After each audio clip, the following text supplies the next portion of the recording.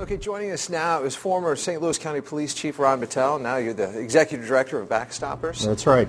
Tell me a little bit about what your organization, when Backstoppers is needed, is when a death has occurred. Is that correct? Our mission is to provi- provide help to the families of police, fire, and EMS officers who lives were taken in the line of duty, and uh, we we jump in within 24 hours and provide financial help to the family to the tune of about five thousand dollars, and then, but that's just the first contact with them, and we'll meet with them again later, two or three weeks later, go over their financial obligations and other needs they may help, and put that all together and try to help them out. And uh, you know, our assistance is ongoing and long term. We're not just there for two or three weeks and give them a check and walk out the door. That's the end of it. We've been helping some of our survivors for over 40 years.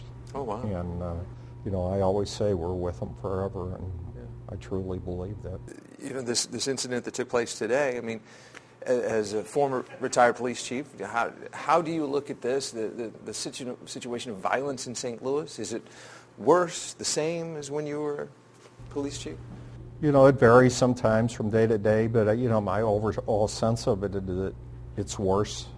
You know, I think I used the word epidemic recently in describing what's going on across the nation with the high number of police shootings that's occurring. And, uh, you know, it's hard to understand or find an answer for it, but there's just, you know, some people have no value on human life, and uh, taking another's life is nothing to some people. And they don't realize the consequences of what they do and the impact. I mean, they change lives in a, life in an instant, and uh, you know, it's not a pretty picture. Well, Chief Ron Battelle, it's a pleasure uh, seeing you. I wish it was under different circumstances as well. Absolutely.